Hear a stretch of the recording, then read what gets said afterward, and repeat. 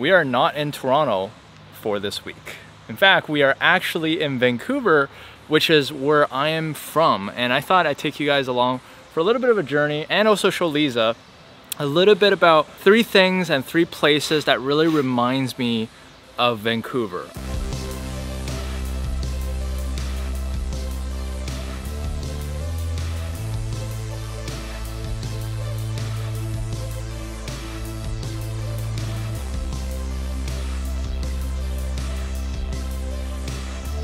This place is actually a park that's super close to the first place I've ever lived in Canada and it's called Deer Lake.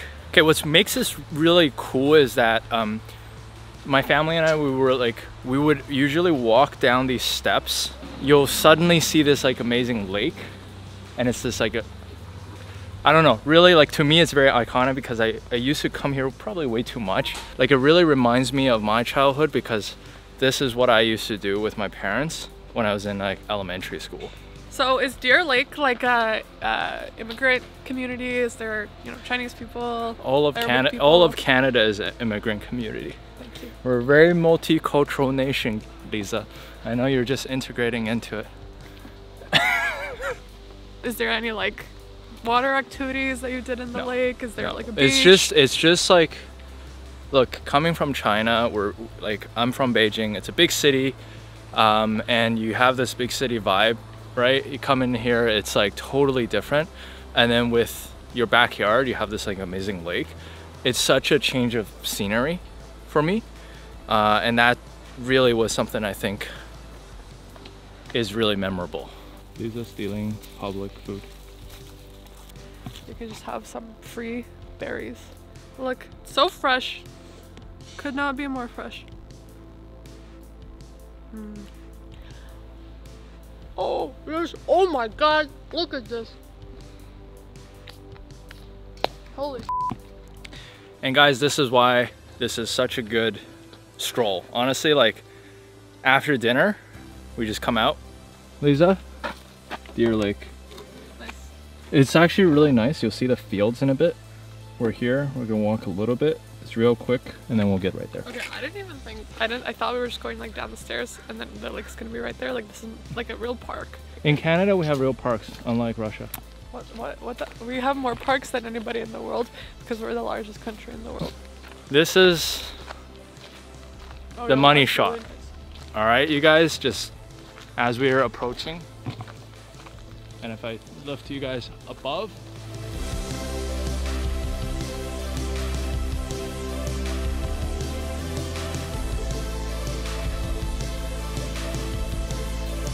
see Deer Lake back there. So yeah, we've at, we, we usually never actually walk all the way. I don't know what it, why it is, probably just lazy.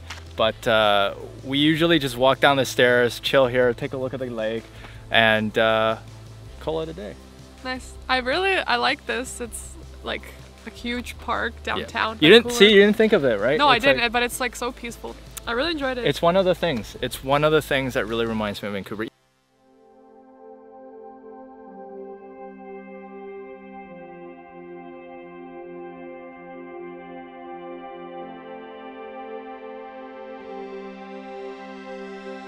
So we are walking on actually my school's track and field. Got a good friend over here, Edwin. Hi guys. Classmate from uh, Point Grey Secondary. If you look behind me, our school actually doesn't look like a normal school.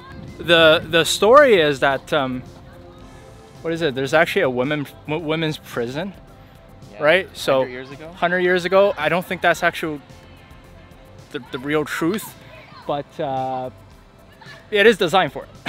Let's call it the seven wonders of Vancouver. if our school looks familiar to you, um, that's actually on purpose because a lot of movies were made from here. Uh, if you guys have watched To All the Boys I've Loved Before, it's actually filmed here as well. Lots of lots and lots of movie um, were actually made here and it's a very popular spot because of the architecture that we have over here. Yeah, also don't forget about the alumni. You know, a lot of movie uh, actors that actually graduated. Yes, Seth Rogen actually, well, never graduated to be fair. He kind of flunked out, but he's doing pretty well for himself. So um, really, really neat place. And um, let's walk around our school's field and uh, yeah, reminisce a little bit. Yeah, so this is actually our school's tennis court. If you remember, we had these like runs. So we would run outside the perimeter and that's where our Terry Fox run would start and all the way. And then anyway, at one point I ran into the tennis uh, net. Yeah, that was not fun. This is actually a really special place for myself and for Edwin as well. It does not look anything special, honestly, to you guys, but Edwin was just reminding me a little bit about the special place. Where are we over here? Here, right here. Oh man, this place is special. This is, you know what it is? Our photography classroom. Yeah, this is Pretty um, awesome. This is actually where a lot of my like artistic and even what I do now with YouTube, I mean, where it started, quite frankly. Um, we had like a dark room. We Oh had- yeah. yeah, we had like so many different things. Um, it was all traditional photography, right? So old school cameras, nothing, no, no, nothing digital. All the effects that we did do in the dark room was hands-on. Oh, Uh, yeah. nothing like how you just edit with a click. Yeah, no. Photoshop, guys. Our teacher actually even organized a trip for us, um, and we went. We ended up going together to New York, honestly, just to take photos. It was like one of the best field trips that I've ever done. Pretty large field trip at that. So, really, really awesome and good memories. Alrighty, guys, we're gonna leave you here. It's not necessarily a school tour, but it's one of those things, like I mentioned, what makes me think of Vancouver. This is definitely one of them. You know, the school, as odd of a structure it is, it as it is, it's it's one of those spots that it's always gonna be Vancouver for me.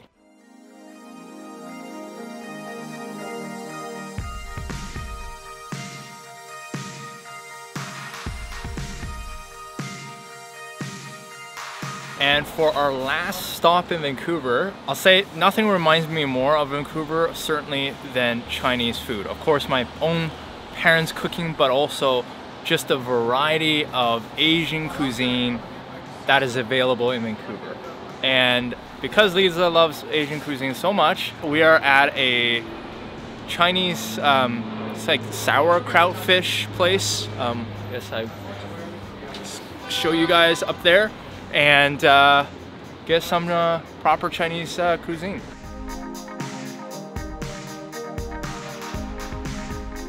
It's cold outside and It's typical Vancouver weather. yeah, I, I, it's it's pouring rain, it's foggy, it's dark.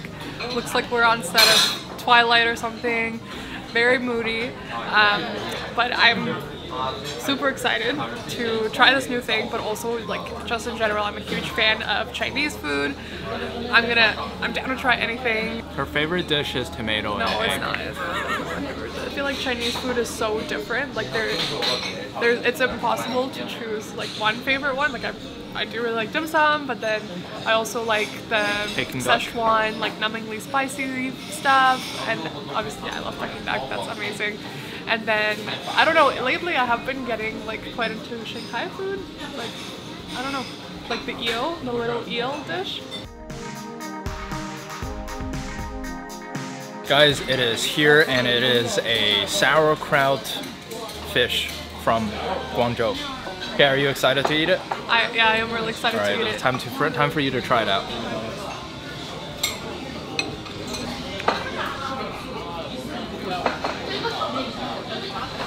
I'm so confused. It's the fish is really tender. It's sour. It's not like sauerkraut like the one like that you get with your schnitzel or anything like that. So it's a little bit different. It almost reminds me of like some Filipino sour dishes that has that quality to it compared to a Eastern sour quality. Yeah, it's delicious. Um, I, I like that it's spicy, but it's not like overly numbing. And it looks like there's some mushroom in there as well and some spam. Yeah, so it's a full it's a full dish. It's delicious, and yeah, I'm excited to have the rest of it. Same here. And you know what? Uh, we're gonna actually go eat. Honestly, you can't go wrong with so many of these different restaurants in Vancouver. But it, that's why it really reminds me, you know, going to Vancouver for like Chinese food. It's probably one of the best ones, best places in North America to have your Chinese food. As you can see, food, my school, and nature really reminds me of Vancouver. And that's really why, I mean, I keep coming back, certainly for my family, but also it just, these are what makes Vancouver Vancouver for me.